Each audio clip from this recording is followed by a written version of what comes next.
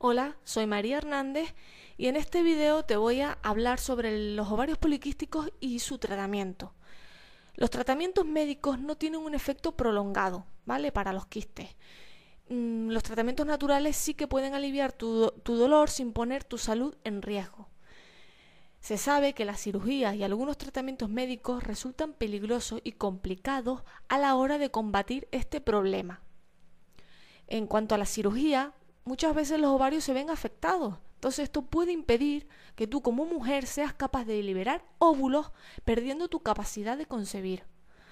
Otro método de tratamiento menos riesgoso para los ovarios es el consumo de medicamentos o fármacos. No obstante, estos medicamentos pueden afectar negativamente en el cuerpo. Un ejemplo de ello es el tratamiento con anticonceptivos, cuyo uso prolongado provoca obesidad en la mujer, un efecto nada deseado. En cambio, los tratamientos naturales favorecen bastante la recuperación y la eliminación de los quistes de ovario, como por ejemplo lo que es seguir una dieta alcalina.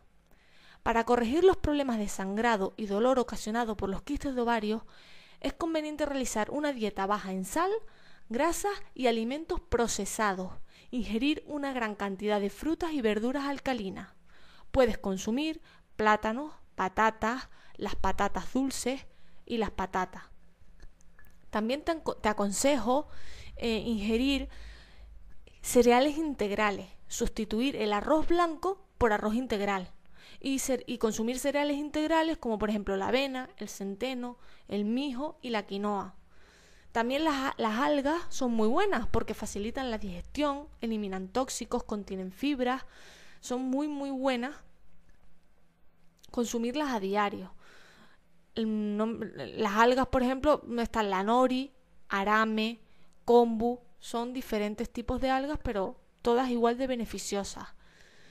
Otro tratamiento natural que te puedo ofrecer es que hagas caminatas, realices caminatas, ¿vale? Caminar a ritmo lento reduce tanto el sangrado como el dolor. Lo ideal es que camines al menos unos 40 minutos al día. La caminata mejorará la circulación y sus efectos son inmediatos. Cuanto más camines, mejor te sentirás. Otro tratamiento natural es la relajación muscular. Algunas veces los dolores de ovario se deben a músculos tensos que impiden la circulación natural de los fluidos corporales. Entonces, aparte de la caminata, otra opción que te recomiendo es tomar clases de baile o hacer yoga. Todas estas actividades son relajantes para los músculos. La relajación de los músculos en la zona de la ingle, las caderas y las nalgas ayuda a prevenir la formación de quistes en los ovarios. Una técnica que puedes intentar es poner una bolsa de agua caliente sobre los ovarios, ya que esto te ayudará a reducir el dolor. Bueno, espero que estos consejos te resulten de utilidad y comiences a aplicarlos ya mismo para combatir cualquier tipo de quiste de ovario que padezcas. Las terapias naturales y la medicina alternativa son una excelente opción para revertir todo tipo de padecimiento, incluso los quistes de ovario. Toda esta información, muchos más trucos y consejos, puedes aprenderlos haciendo clic en el enlace que está debajo de este video. Aquí vas a encontrar todo lo que necesitas saber sobre esta condición y cómo hacer para comenzar de inmediato con un tratamiento natural que te brindará excelentes resultados en muy pocos días y te permitirá retomar el control de tu vida.